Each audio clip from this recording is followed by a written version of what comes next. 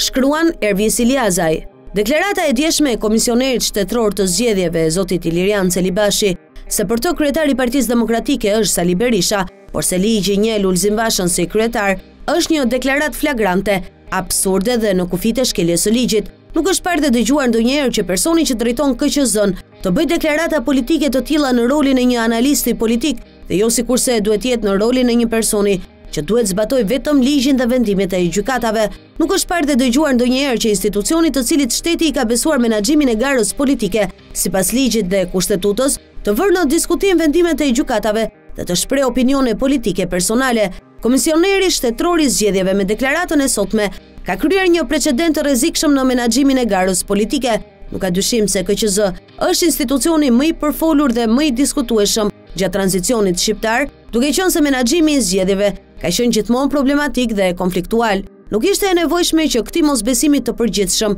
t'i shtohej edhe deklarata politike e drejtuesit të atij institucioni, duke e bërë atë edhe më të pabesueshëm akoma. Deklarata e Celibashit, jo vetëm që ishte skandaloze në aspektin etik dhe ligjor, por ndër të tjera, është edhe një deklaratë e pamoralshme dhe kontradiktore. Zoti Celibashi nuk duhet të veprojë kundër ndërgjegjes së vet, nëse vërtet mendon se Sali Berisha është kryetar i Partisë Demokratike, ose të ketë karakterin dhe ta regjistrojë si të tillë, ose në të kundërtën, deklarata të tilla nuk janë gjë tjetër, veçse diversione politike të sponsorizuara, Ka dhe një opsion tjetër, kur një drejtues detyrohet të veprojë kundër bindjes së tij, atëherë ai duhet të japë dorëheqjen, sepse deklarata të tilla politike, nga drejtuesi i një institucioni që thjesht duhet të zbatojë ligjin, nuk bëhen asnjë vend tjetër të botës, siç është bërë zakon në Shqipëri. Shpeshherë mendohet se të drejtat i japin njerëzit dhe jo ligji. Ky është problemi më i madh i funksionimit të shtetit ligjor dhe institucioneve tona, ndërkohë që institucionet e shtetit duhet të jenë neutrale, të ftohta dhe të zbatojnë vetëm ligjin, Me këtë deklaratë, Ilirian Celibashi ka bërë njësh personin dhe institucionin,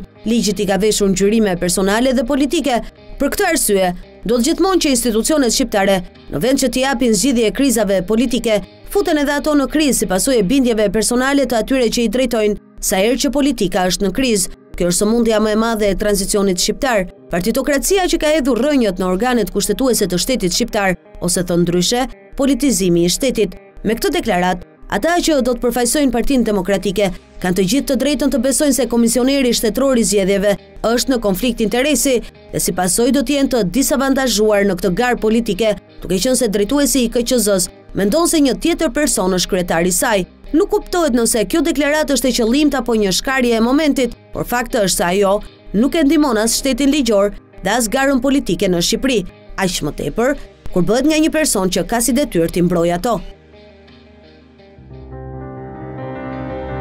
Pamfleti është një platformë mediatike analitike që u lind si domosdoshmëri një tribune pa kompromis, si një zë i fuqishëm në luftën pa ekuivok ndaj krimit dhe korrupsionit politik në Shqipëri.